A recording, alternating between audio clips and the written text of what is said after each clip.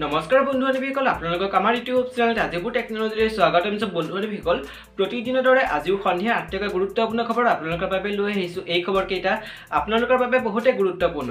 গতিকে ভিডিঅ'টো স্কিপ নকৰাকৈ প্ৰথমৰ পৰা শেষলৈকে চাই থাকক আৰু যদিহে চেনেলটো নতুনকৈ আহিছে চেনেলটো ছাবস্ক্ৰাইব কৰি কাষতে বেল আইকন প্ৰেছ কৰিব আৰু ভিডিঅ'টো আৰম্ভ কৰাৰ আগতে এতিয়ালৈকে যদি ভিডিঅ'টো লাইক কৰা নাই লাইক কৰি দিব আৰু শ্বেয়াৰ কৰিব নাপাহৰিব। তো বেছি পলম নকৰি আজিৰ ভিডিঅ'টো আৰম্ভ কৰিছোঁ আহক। আজিৰ সন্ধিয়াৰ প্ৰথমটো এটা বহুতে গুৰুত্বপূৰ্ণ এটা খবৰ আহিছে। প্ৰথম খবৰটো হৈছে অৱশেষত বিজেপিৰ টিকটৰ পৰা বঞ্চিত হ'ল শিলাদিত্য দেৱ। চিপাঝাৰত প্ৰাৰ্থিত্ব পালে পৰমানন্দ ৰাজবংশীয়ে। অৱশেষত বিজেপিৰ টিকটৰ পৰা বঞ্চিত হ'ল হোজাইৰ বৰ্তমানৰ বিজেপি বিধায়ক শিলাদিত্য দেৱ। হোজাই সমষ্টি এইবাৰ শিলাদিত্য দেৱৰ পৰিৱৰ্তে টিকট লাভ কৰিলে ৰামকৃষ্ণ ঘোষে। বুধবাৰে বিজেপিৰ কেন্দ্ৰীয় নেতৃত্বই ঘোষণা কৰে আগন্তুক অসম বিধানসভা নিৰ্বাচনৰ বাবে হোজাইত চিপাঝাৰ আৰু হাইলাকান্দি সমষ্টিৰ প্ৰাৰ্থী নাম। হোজাই সমষ্টিৰ আগন্তুক নিৰ্বাচনৰ বাবে ৰামকৃষ্ণ ঘোষে দলীয়ত টিকট লাভ কৰাৰ বিপৰীতে চিপাঝাৰ আৰু হাইলাকান্দি সমষ্টিত দলীয় টিকট লাভ কৰে। ক্ৰমে পৰমানন্দ ৰাজবংশী আৰু মিলন দাসে। ইফালে টিকট বঞ্চিত হোৱাৰ পিছতে ছ'চিয়েল মিডিয়াৰ জৰিয়তে প্ৰতিক্ৰিয়া প্ৰকাশ কৰে শিলাদিত্য দেৱে। শিলাদিত্য দেৱে লিখে যে অৱশেষত মোক বিজেপিৰ পৰা উলিয়াই দিয়া হ'ল। আনহাতে টিকট বঞ্চিত শিলাদিত্যই এইবাৰ হোজাই সমষ্টিৰ পৰা নিৰ্দলীয় হিচাপে প্ৰতিদ্বন্দ্বিতা আগবঢ়াব বুলি জানিব পৰা গৈছে।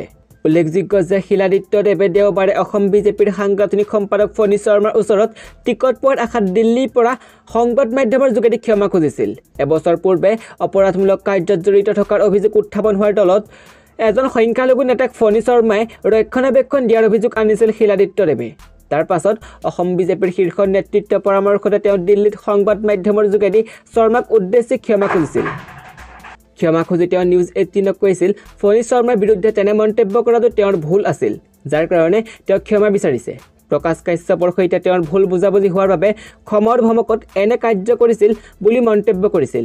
ইউ ডি এফৰ প্ৰধান বদৰুদ্দিন আজমলে সঁচাকৈ কৈছিল নেকি ইছলামিক ৰাষ্ট্ৰ সংগঠনৰ কথা? ভাইৰেল ভিডিঅ'ৰ প্ৰকৃত সত্য জানিবলৈ চাওক ভিডিঅ' ছ'চিয়েল মিডিয়াত ভাইৰেল হৈছে বদৰুদ্দিন আজমলৰ এটা ভিডিঅ' ভিডিঅ'টোত আজমলে ইছলামিক ৰাষ্ট্ৰ সংগঠনৰ সন্দৰ্ভত মন্তব্য কৰিছে বুলি অভিযোগ উত্থাপিত হৈছে।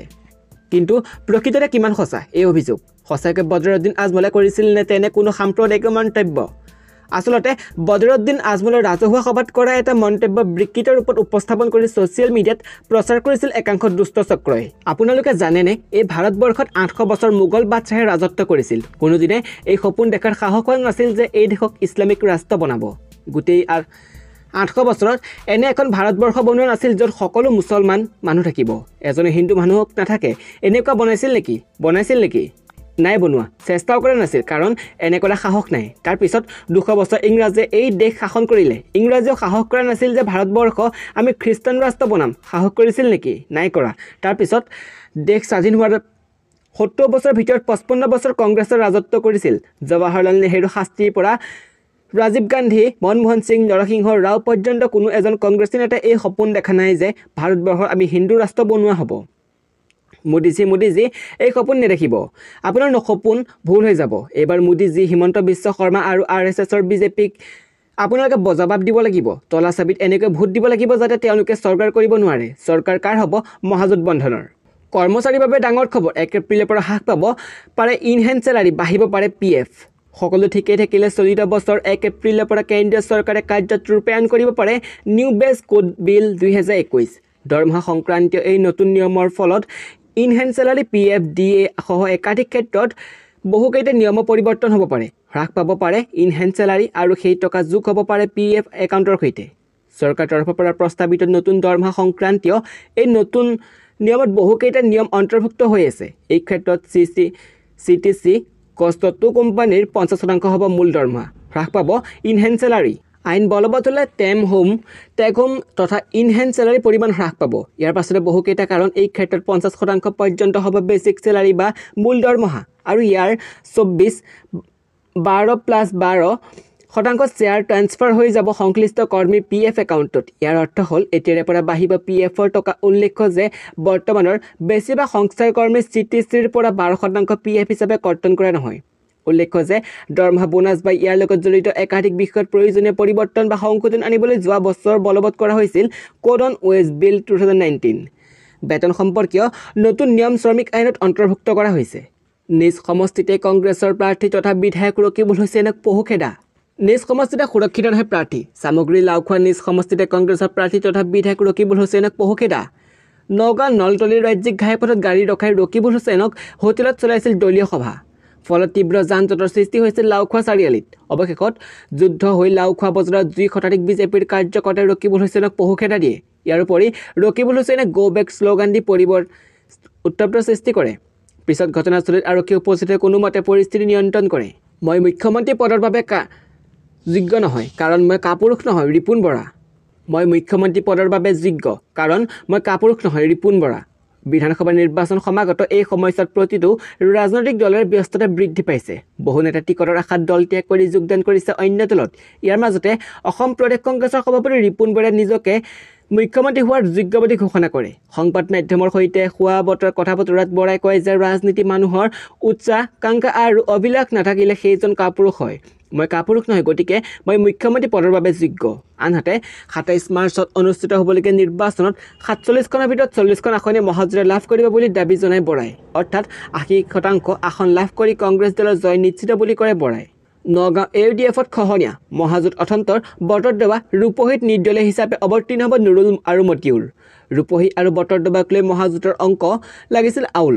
প্ৰথম অৱস্থাত বটৰদবা আসনখন মহাজোঁটে আঞ্চলিক গণমৰ্চা লাচিত বৰদলৈক এৰি দিয়াৰ কথা আছিল যদিও শেষ মুহূৰ্তত বটৰদবাত সাংসদ গৌৰৱ গগৈ পচন্দৰ প্ৰাৰ্থী হিচাপে পৰিচিত কংগ্ৰেছৰ নেত্ৰী শিৱামণি বৰাক প্ৰাৰ্থী হিচাপে প্ৰক্ষেপ কৰে। ইয়াৰ পিছতে আঞ্চলিক গণমৰ্চাৰ নেতা তথা সাংসদ অজিত কুমাৰ ভূঞে বটৰদবাত লাচিত বৰদলৈ বন্ধুত্বপূৰ্ণ প্ৰতিদ্বন্দ্বিতাত অৱতীৰ্ণ হ'ব বুলি ঘোষণা কৰিছিল।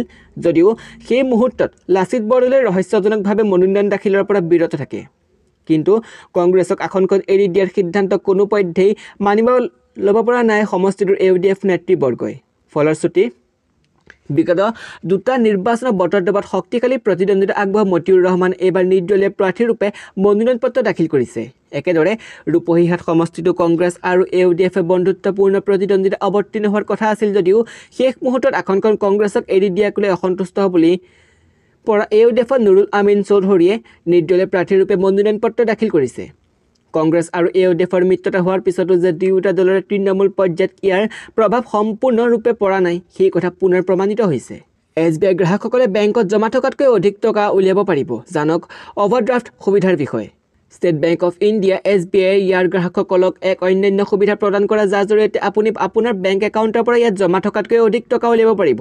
বেংকৰ এই সুবিধাটো অভাৰড্ৰাফ্ট সুবিধা বুলি জনায় অভাৰড্ৰাফ্ট সুবিধাৰ কি হয় আৰু আপুনি ইয়াৰ সুবিধা কেনেদৰে ল'ব পাৰে জানো আহক। অভাৰড্ৰাফ্ট হৈছে এনে প্ৰকাৰৰ ঋণ ফলস্বৰূপে গ্ৰাহকসকলে তেওঁলোকৰ বেংক একাউণ্টত থকা বেলেঞ্চতকৈ অধিক টকা উলিয়াব পাৰে।